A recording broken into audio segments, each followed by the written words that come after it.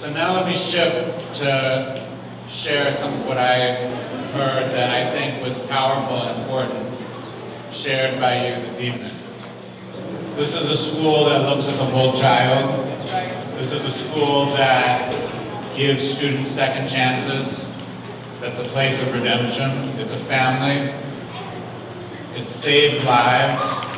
It's a school that has built a curriculum around teaching students to think critically, to value their history and their culture, to know their identity, to respect each other's humanity. It's a school that's safe. It's a school that develops leadership, both amongst the faculty and amongst the students. And it's a school where teachers know kids well and know kids deeply and are willing to go above and beyond what you see in most schools in order to provide the supports that kids need. We heard students talk about coming to the school after being in other schools where no one ever cared what they thought or what they felt. We heard students talk about the fact that this is a school where they want to learn as a result of the commitment that they feel from their teachers.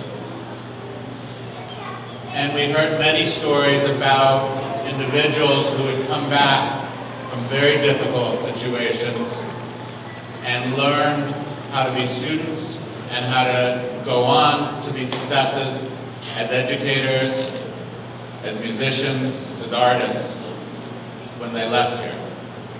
And those were powerful stories and they came through loud and clear.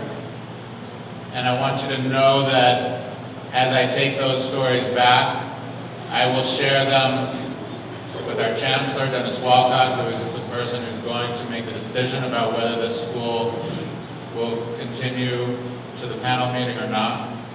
But I was moved by what you said tonight. I've been to a lot of public hearings.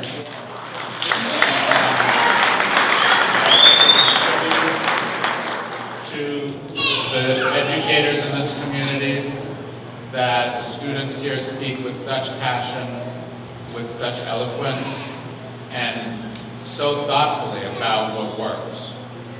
And I do think whatever gets decided as a result of this process, there's something very powerful here, and I thank you for sharing that tonight.